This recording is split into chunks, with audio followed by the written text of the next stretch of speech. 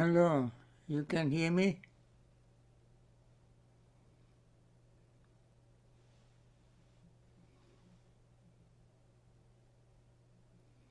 Can you hear me? Yeah.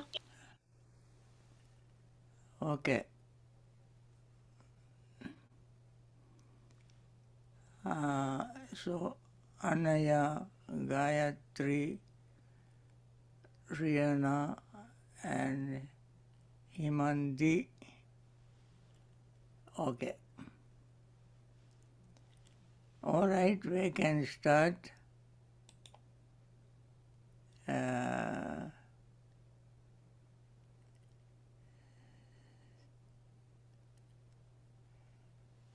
okay. Today we start with this stanza. Uh, you can see number 17. I read as before, this time word by word, and you repeat after me. Second time I recite two words by two words, then you recite it after me. Third time I recite line by line and recite after me, and then you can see the meaning. Let us begin. First, word by word. Idha Ida. nandati ah, Nanda. tappati, idha tappati, Tapati. pech, pecha, Pecha. tappati, Tapati. papakari, Papakari.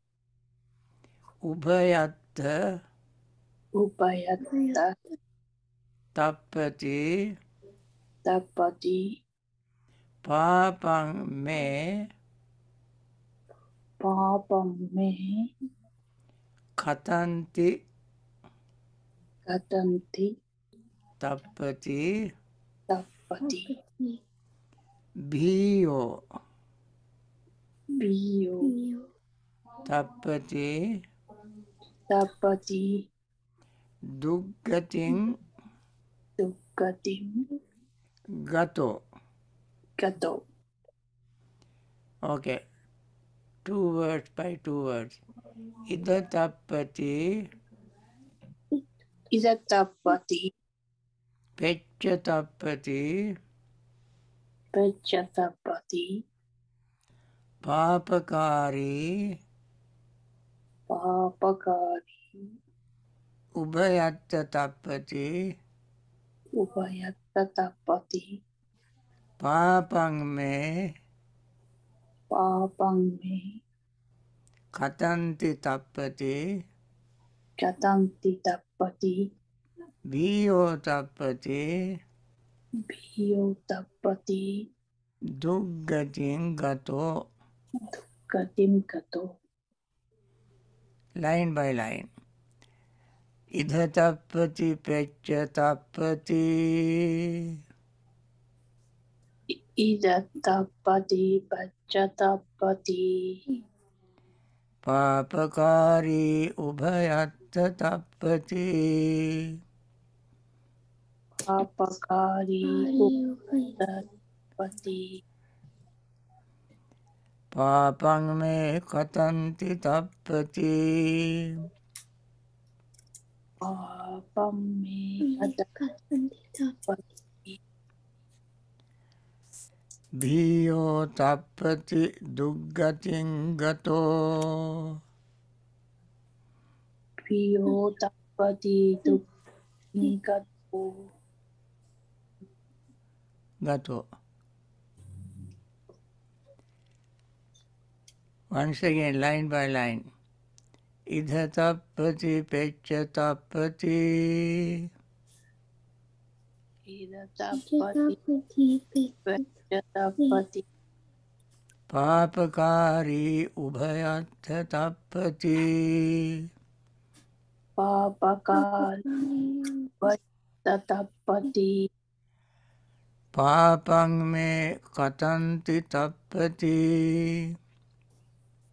Papami Gadanti Tapati Bhiyo Tapati Duggati Ngato Bhiyo Tapati Duggati gato. Okay. Ida, Ida means here. Here. He is not mentioned Yeah, but he is understood. Tappati suffers. Pecca after death. Tapati he suffers. Papakari, the wicked one, Ubayat, both places, Tapati suffers. Papang, evil or wicked deed, may by me or by, by me, katang, done. Ti tapati, thinking that I have done evil deeds, he suffers. Biyo tapati. Biyo means more. Tapati suffers. Duggatin gato. When he goes to woeful state of existence. Suffers more thinking, I have done wicked, wickedness. Duggatin gato. Gone to woeful state of existence. Biyo tapati, he, he suffers more. Uh, I think something is with the Duggati. Duggati means woeful state of existence, gato. Let me put that for you to understand better. So, we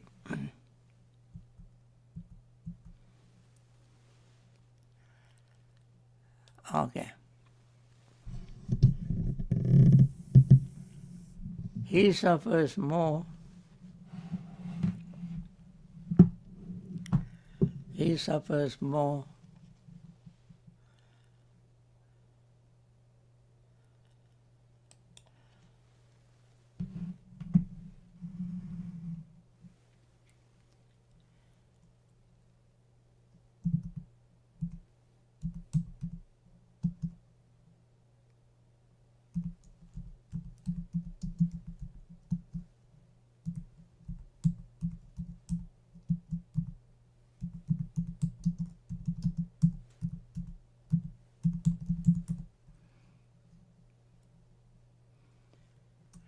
Okay. He suffers more after going to woeful state of existence, thinking, I have done wicked deeds. I have done wickedness, wicked deeds. We put this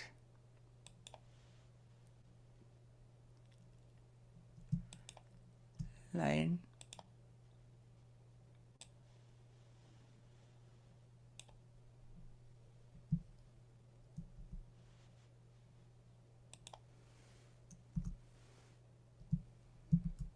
Ah.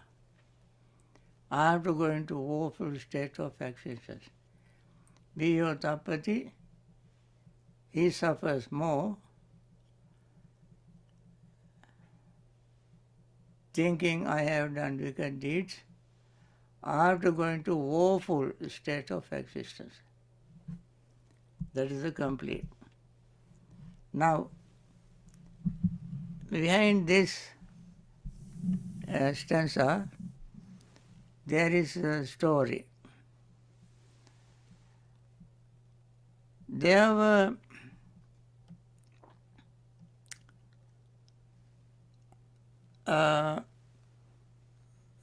prince, princess, princess, six of them. Uh, Bhaddiya, Mahanama,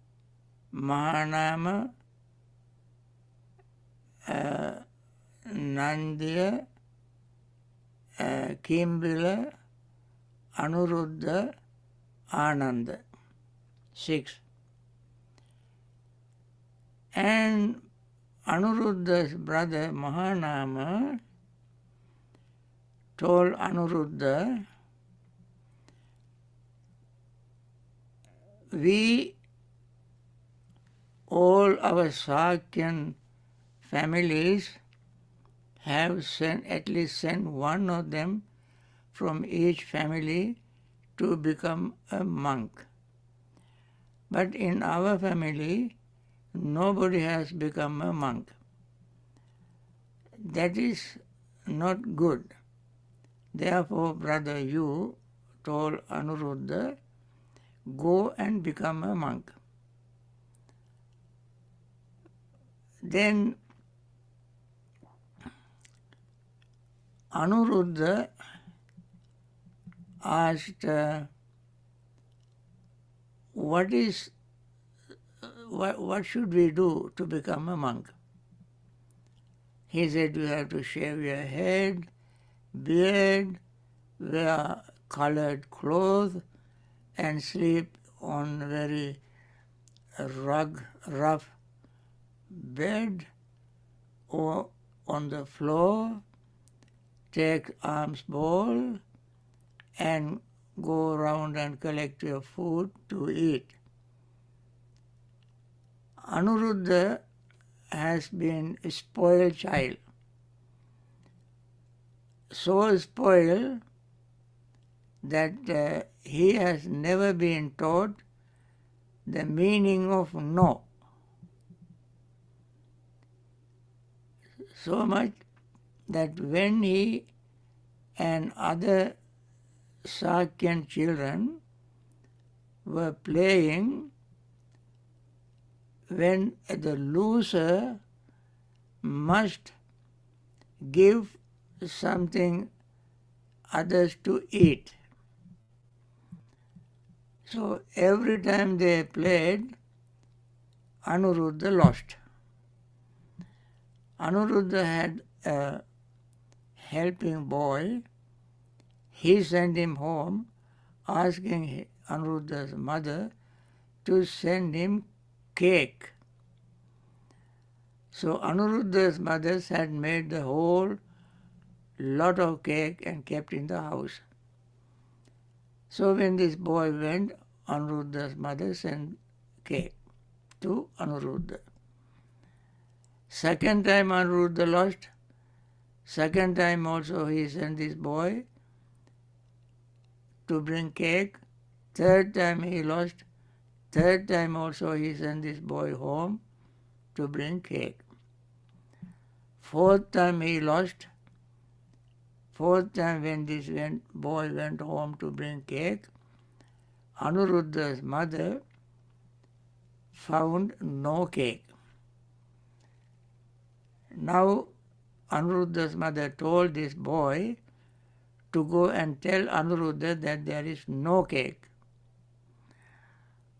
Anuruddha had never known what no means.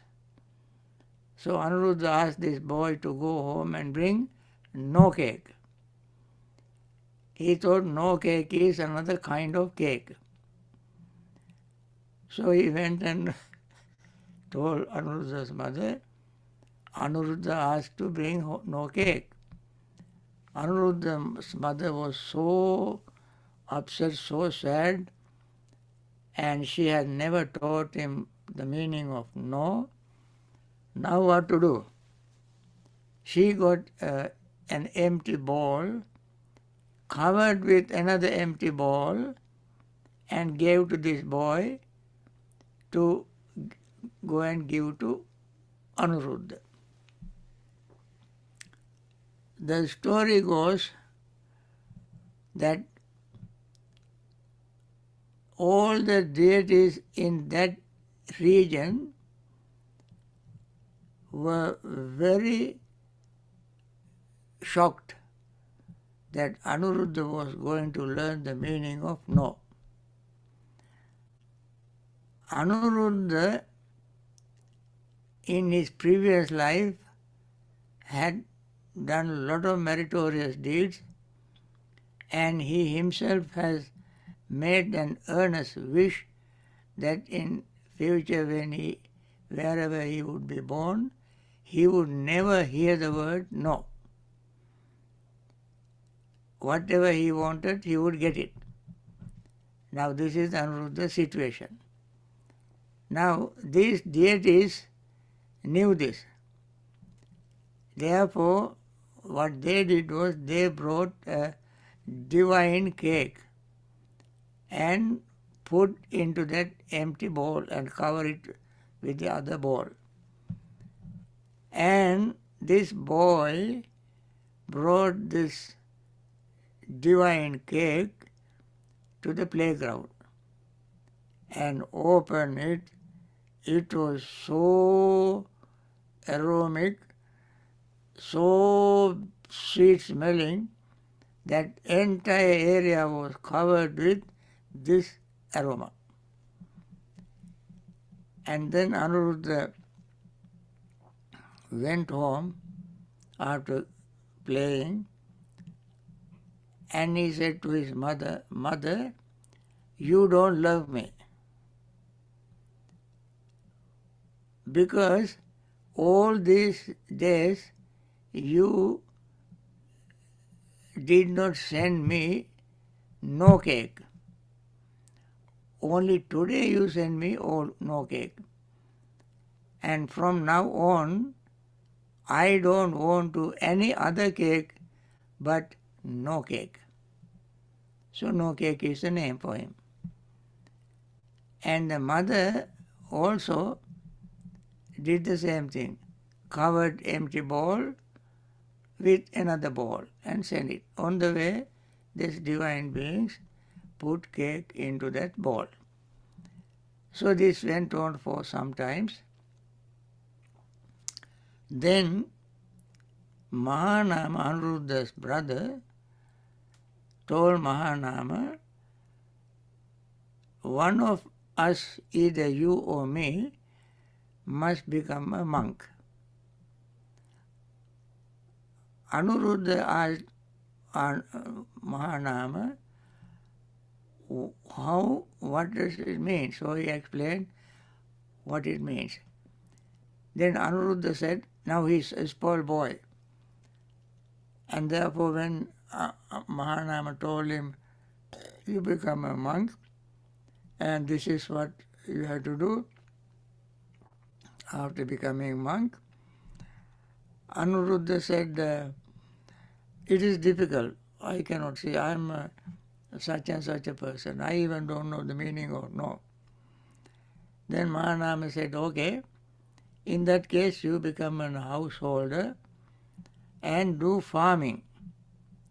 Then he asked, uh, what is farming? Because uh, Anuruddha, Nandya and Kimbila, these three people, did not know what farming is. Nandya said the food comes from the storage, rice uh, granary. Because he one day he saw his mother taking grains from the store, storeroom. And Nandya, uh, uh, the Bhagu said, rice come from the pot, cooking pot, because he saw his mother serving him from the pot, cooking pot. Anuruddha said, no, no, no, no. Rice comes from the plate. They even did not know where the rice comes from. So when Mahanama asked Anuruddha to become a monk, become a a farmer, Anuruddha asked Mahanama, what does it mean? How can you become a farmer? What does a farmer should do? Then he told him, farmer has to find a land, cut down the trees, remove rocks and thorns and uh, so forth, clear the ground, make it smooth, plow it, water it. When it is muddy, you get the seed, plant the seed, and then turn water. And when there are insects, you have to get rid of insects, and so forth and so on. Whole process of farming, he told Anuruddha, and said, then you have to prepare for the next season. And next season also like that. Anuruddha said, brother, this is going to be an endless work. There is no liberation, like samsara, always doing this, this, this, this, this. Therefore, I become monk. That is somewhat relatively easier. So he went to his mother and asked mother's permission to become a monk. Mother said, no, I cannot permit you to become monk. You are the you are like a person who has one eye. I I love you so much. I cannot let you go. Anyway, Anuruddha begged her again and again and again. Finally, Anuruddha's mother told him, if Bhaddiya uh, agrees to become monk, then you go. So he went to Bhaddiya and Bhaddiya agreed. Then Anuruddha, Bhaddiya, Nandya, Bhagu, Kimbila and Ananda. These six joined together and with a lot of uh, uh, ceremonial things, uh, they all, after about one week of ceremony, uh, they went to a monastery and became monks. Among them was uh, among them was uh, Upali. When they were going to become monk, when they reached the boundary of the uh, territory, their kingdom, uh, they have to uh, they have to leave, go there to the monastery in a simple clothes, not this uh, princely attire. So they removed all of them and made bundles and gave to Upali. Upali was their bab, uh, their, their Adobe, who did all their laundry work. So Upa, Upali took these bundles of jewelry and all gold, silver, and so forth, and uh, he cried and cried for leaving these uh, six uh, princes uh, and going home. But after some distance he went and opened the bundles, took all the jewelries and all ornaments hung on trees and said, whoever likes to have them, let them have. I don't own them. He ran with them. And then finally he also joined. Now eight of them, uh, seven of them. And all of them went and these uh, princes, six of them told a monk in the monastery that uh, to ordain Upali first. Because when Upa, Upali they consider to be of low caste, because he was dhobi, laundryman. Laundryman's job considered to be very low job, low in uh, in their system, society. And people who do that is considered to be of low caste.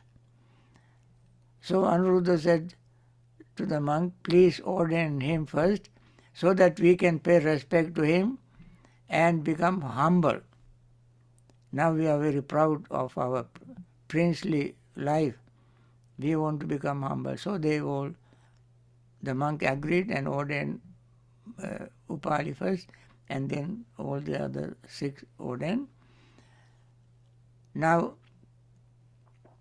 all of them except Devadatta attain higher stages of significance, distinctions, attaining stream entry, once returner, uh, never returner, arahanthood and so forth within a very short period of time.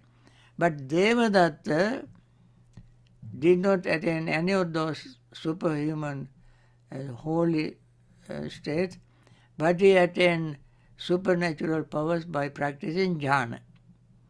Practicing jhana. After attaining uh, super, gaining supernatural powers, uh, he lived with them. When they went to the monastery, in the monastery, people come with all kind of gifts and ask for ask where the Buddha was, where Sariputta was, where Moggallana was, where Anuruddha, where Kimbila, where Bhagu, where uh, Nandiya, where Ananda, but nobody was asking about Devadatta. Devadatta got very upset. And he thought, I also must get some gift, support uh, from people. So now Ana, Devadatta became a very greedy person.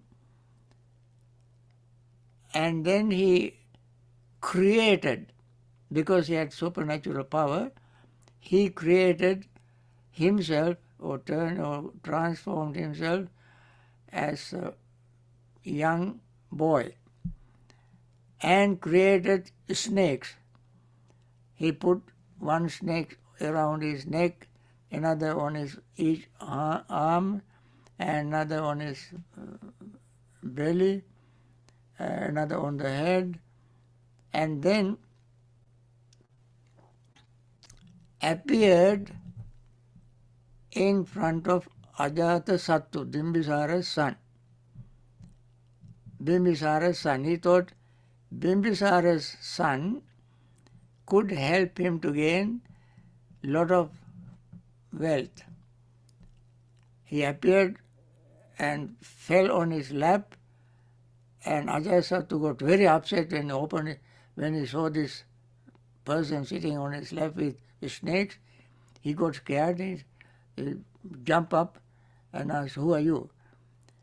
Then he made this snake disappear from him and told him and got back to his Devadatta's form and told Ajatasattu, now uh, Ajata also was a prince, King Bimbisara's son.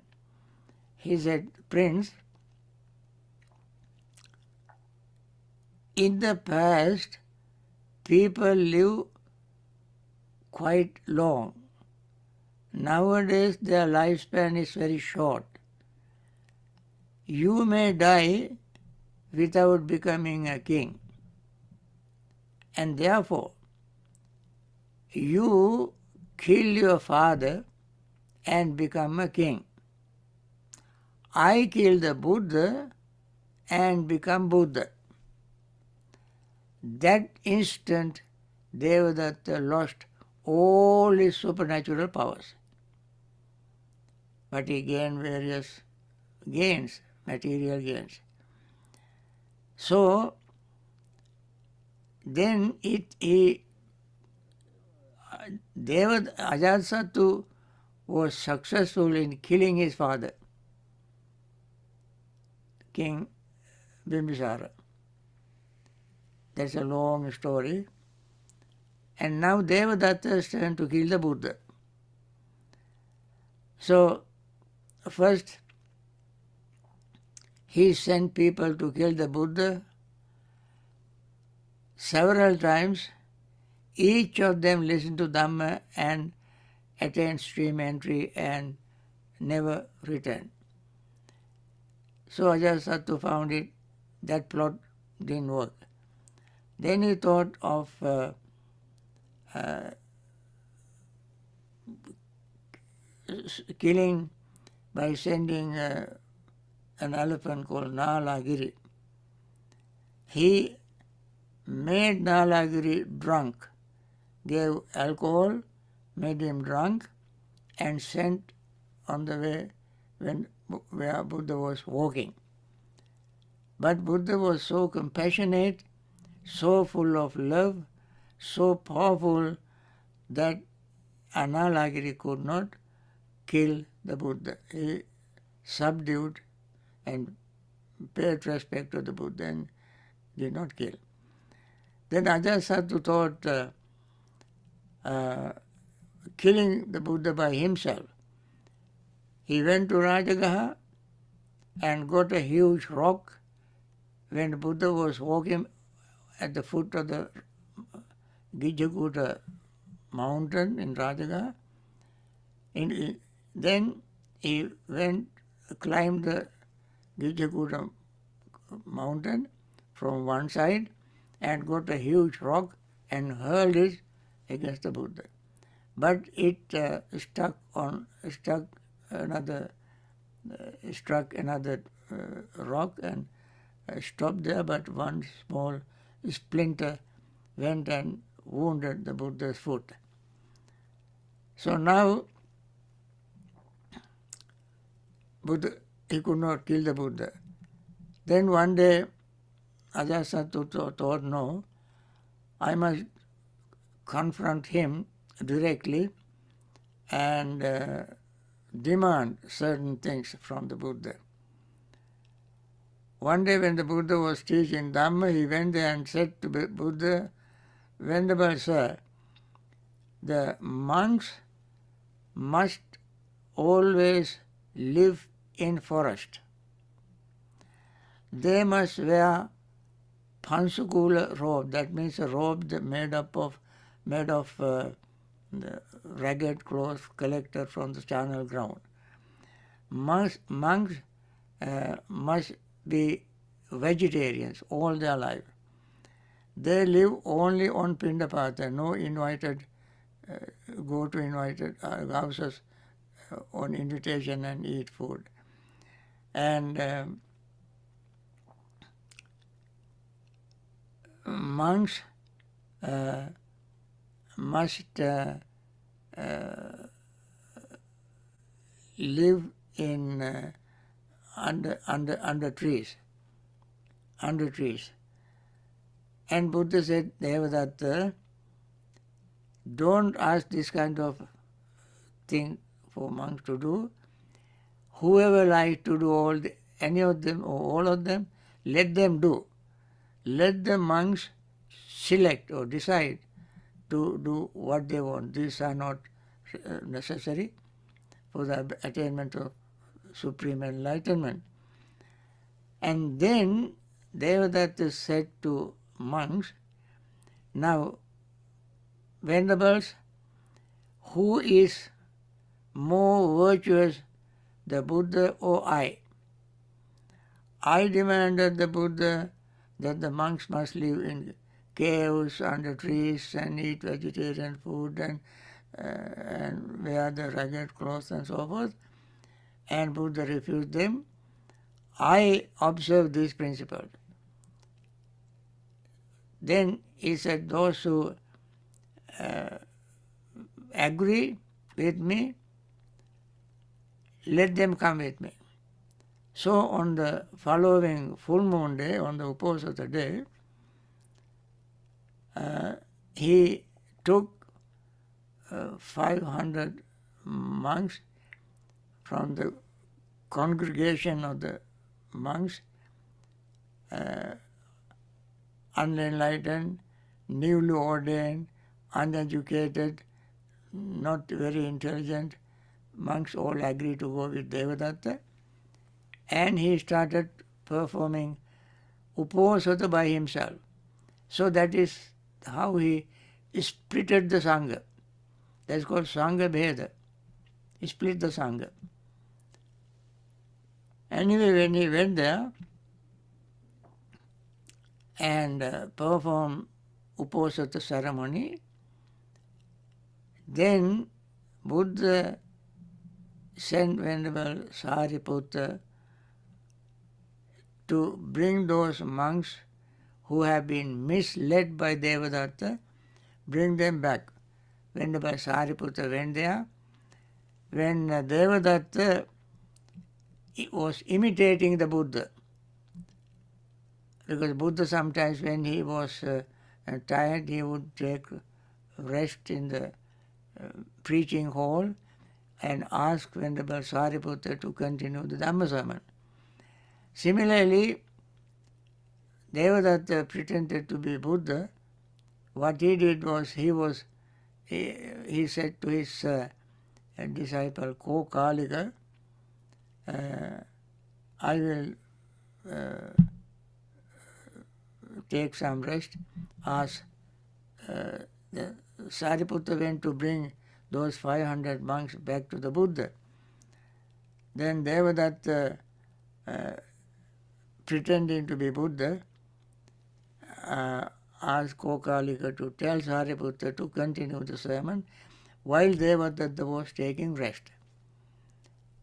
When Devadatta was taking rest, he fell asleep. Venerable Sariputta gave a beautiful sermon and asked all the monks to return to the Buddha. They went back with all these 500 monks. First he went alone with, with uh, Moggallana and when he returned to the Buddha he brought 500 monks. When he returned to the Buddha, these 500 monks, Kokalika, his chief disciple of Devadatta, shook uh, Devadatta from his, shook him up and uh, with his knee he gave a kick to Devadatta's chest and Devadatta got so sick he began to throw up blood. After some time Devadatta became very sick, very sick. For nine months he was sick. And then finally he said to his disciples, now, even though I offended the Buddha, Buddha never offended me. Therefore, I must go and apologize to Buddha. And while Buddha was teaching in Jetavana monastery,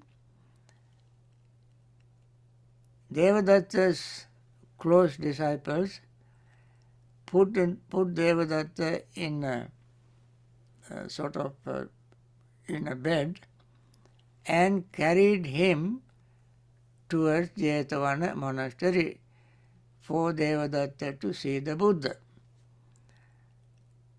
Now, at that moment, Devadatta regretted and took refuge in the Buddha.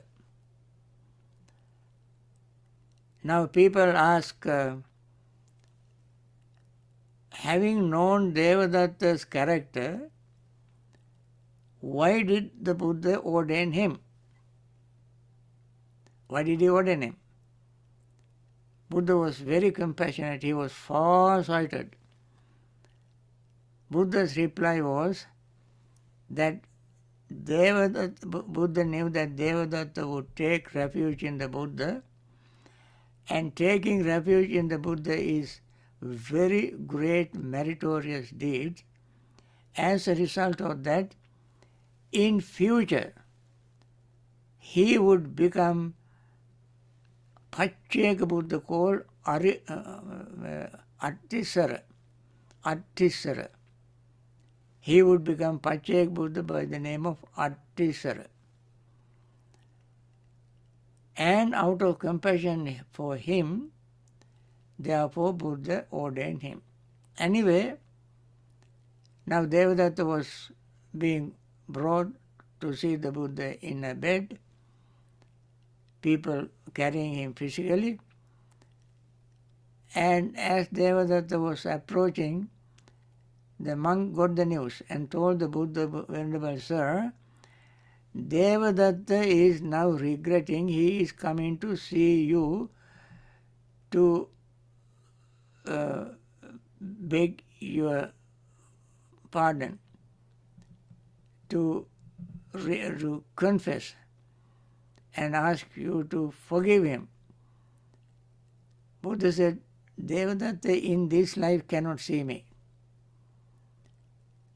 Then as he was approaching the, approaching the Jetavana monastery, uh, now they said when the person now is uh, uh, three miles close. Buddha said, no, he cannot see me. Two miles close, one mile close, half a mile close. Now is at the Jetavana uh, monastery. Uh, there was a pond, little pond. The monk said that Devadatta is now at the Jetavana pond. At that moment, Devadatta, the people who brought Devadatta put him down and wanted to uh, refresh themselves, take bath, drink some water and rest and then bring him to the monastery. As soon as they put him down, Devadatta managed to stand up.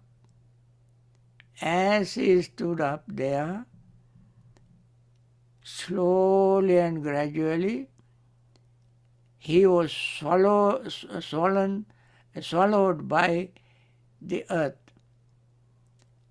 And he slowly split the earth and he was uh, dragged into Avici hell. Avici hell. Avici hell is the worst kind of hells among all the hells. That is the very brief summary of Devadatta's life. So, he regretted, here he suffers, after death he suffered, the wicked one suffer in both places. He suffered more thinking I have done wicked wickedness after going to woeful state of existence. Now this is the story behind this. Now let us repeat let me repeat the stanza once again so that uh, you try to remember the stanza. Very important stanza. Probably most of you don't know all these uh, uh, events of Devadatta. I simply gave you very brief summary, uh, but don't have much time to give them in detail. Now let us recite this. Idha tapati pecca tapati. Idha tapati pecca tapati. Papakari ubhayattha tapati. Papakari. पापं मे कथन्ति तप्यति पापं मे तप्यति बीयो तप्यति दुर्गतिं गतो बीयो तप्यति दुर्गतिं Okay. You try to read it with me. Okay let us begin इध तपति पेच तपति इध तपति पेच तपति पापकारी उभयद तपति पापकारी उभयद तपति papang me katan titapati papang me katan titapati bio tapati duga gato bio tapati duggatin gato You see, in every line there is a tapati. In the first line there are two tapasis. Second line, one tapati. Third line, one tapati. Fourth line, one tapati. So, tapati, tapati, tapati, tapati. Tapati means suffers, suffers. Uh, Idha means here in this life. Pecca means after death, next life. Papakari, papa means wicked. Kari is uh, one who does it. So papakari means wicked, uh, one who commits papa, wickedness. Ubaya, ubayata means both worlds, both places. Then papang, uh, papang is wrong thing, wicked thing, may by me, katang done. And the and bo means uh, great or more, more, bo, more. Duggati is again sugati, sugati is heaven, duggati is hell. We call it in a little mm, palatable word, woeful state, woeful, painful state, state where all is suffering, nothing but suffering. So this is what happened when somebody is as wicked as Devadatta. You can see in Devadatta's life a lot of uh, wicked things. Now, uh, children, we have to do some meditation. I will uh, close this and open the section on meditation so that you can uh, do some meditation with me. Let me see where is that.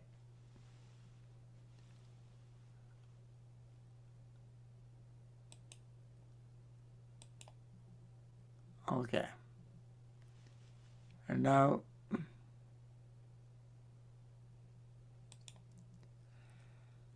okay.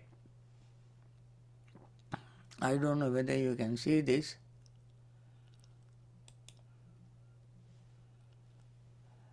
No. No Bhante.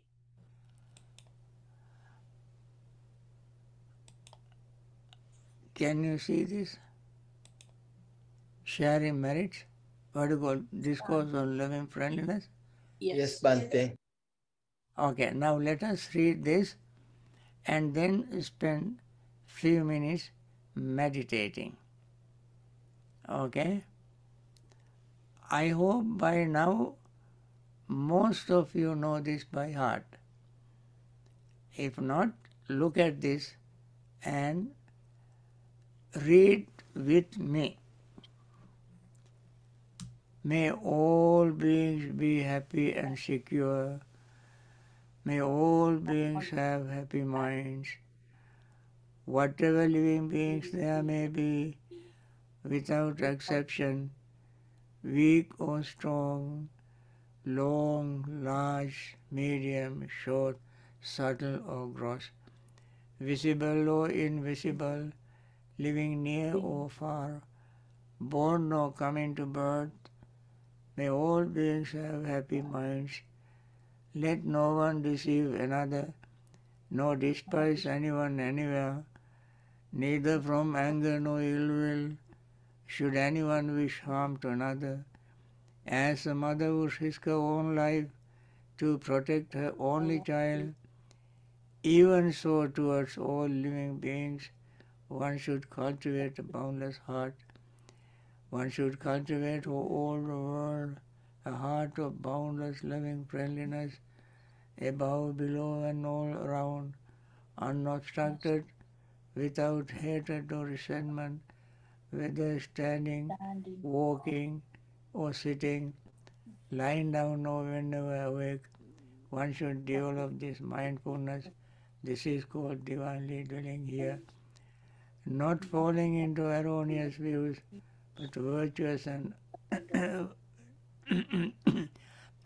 endowed with vision, removing desire for sensual pleasures, one comes never again to birth in the womb. Okay, now we must pay total undivided attention to our breath as we breathe in and out. We notice our breath. When we notice our breath,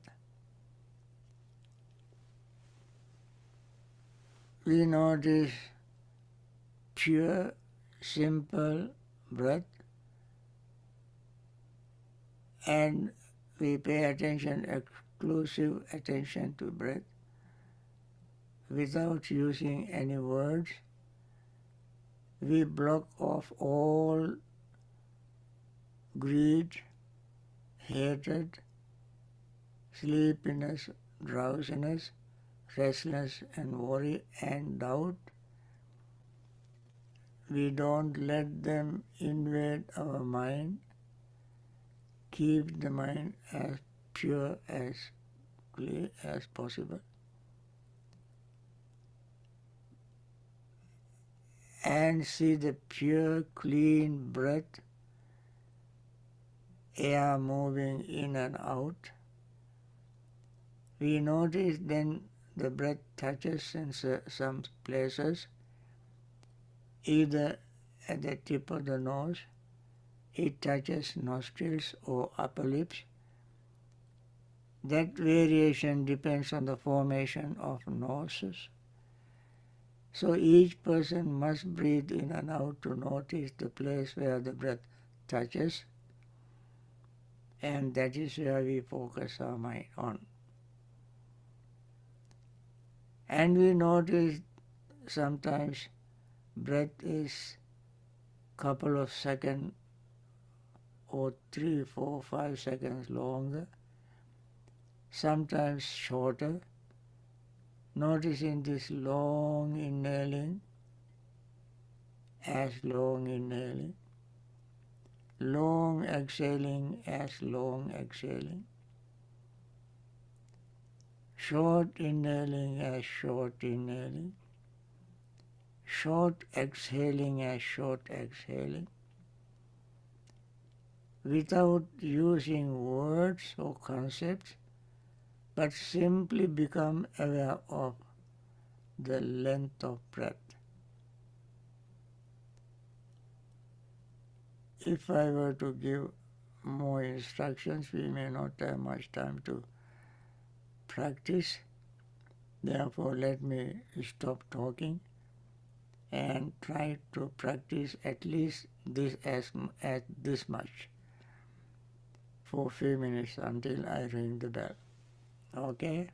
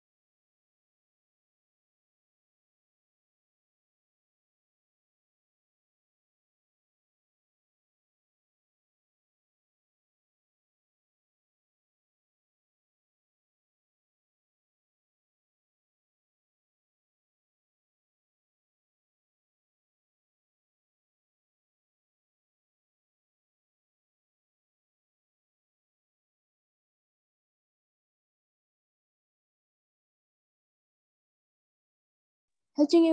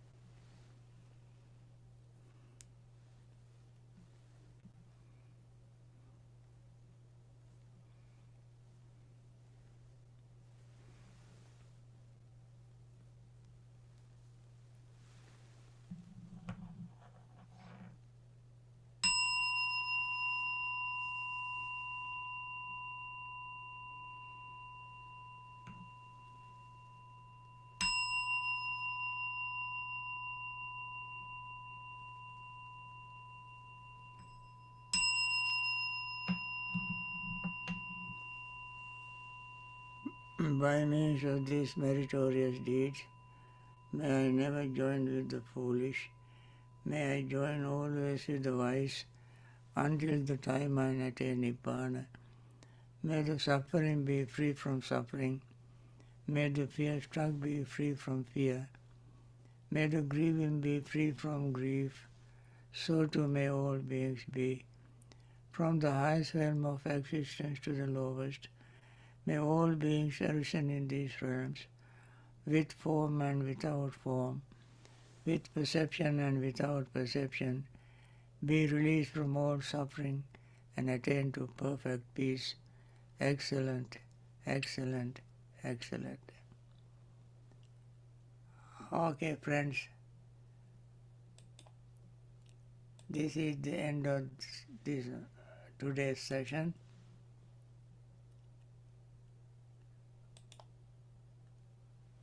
I hope you all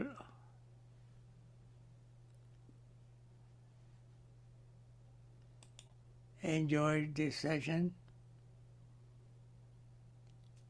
and you may continue your meditation as long as you like. Now I want to end this session and hope to see you next week. Okay? Thank, Thank you. you, Bhante. Thank you. Thank you.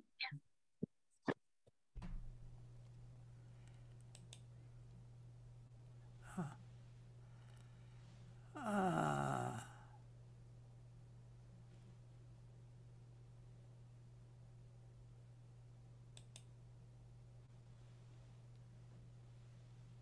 Hmm. How to end the session? Ah, stop sharing. Ah. okay. Bye. Eh? Bye. Bye. All right. Bye. They're on